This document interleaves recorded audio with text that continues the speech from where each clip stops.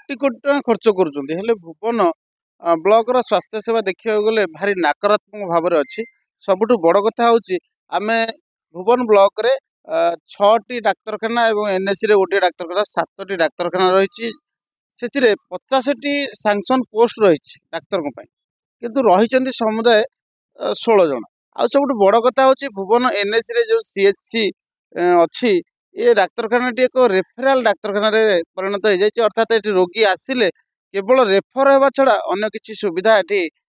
ମିଳିପାରୁନି doctor କେହି ରହୁନାହାନ୍ତି ଏଇଟା ଭୁବନ ବ୍ଲକର ମେଡିକାଲ ଏଇଟା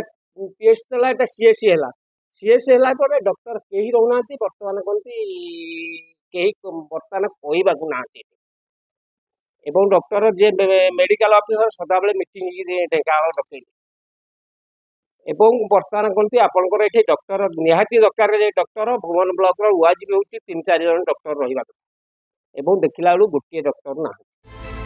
হেলথ কনেক্ট সিজন টু কেবল অর্গস নিউজরে